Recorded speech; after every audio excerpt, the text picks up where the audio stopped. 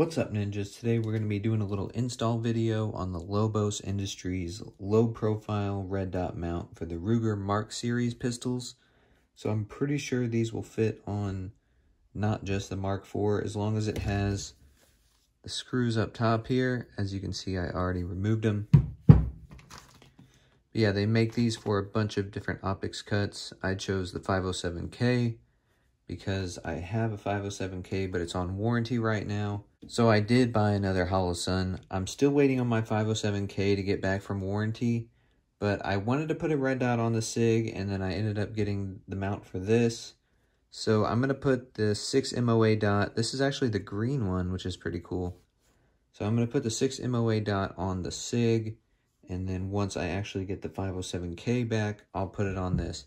But just for video purposes today, I will go ahead and throw this on the Ruger just so we can see how it looks because the 507K and 407K are essentially the same thing. So we do have some instructions. You get two sets of screws. One are for the actual optic and then the other two smaller ones are for mounting it to the gun. So you have your torque specs here, pretty easy to read instructions.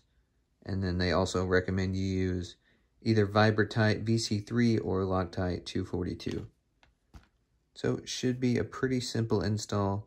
I'm going to go ahead and get this on. I'm probably not going to show me putting it on on YouTube just because I don't want them to take my money away. So easy little install, two screws, and we're good to go. All right, so I just got the plate installed, just 10 inch pounds with some blue Loctite on these threads. Definitely looks pretty cool. You want to make sure your little locator tabs are facing forward. And now we can go ahead and get the optic installed. Another thing I highly recommend is the Fix-It Sticks little Torx screwdrivers. So I got this set from Midway. It was like $109 on sale. It came with all these bits and the big torque driver. And I actually had to buy the smaller one separate. But this just helps you get accurate torque. As you can see, you just turn it. This one calls for 7 inch-pounds on these optic screws. So you just turn till it's at about 7. And then same with this one. I already torqued them down, just kind of demoing this. But same thing for the mount. This one called for 10 inch-pounds, which it feels like it came loose on me. Anyway. 10.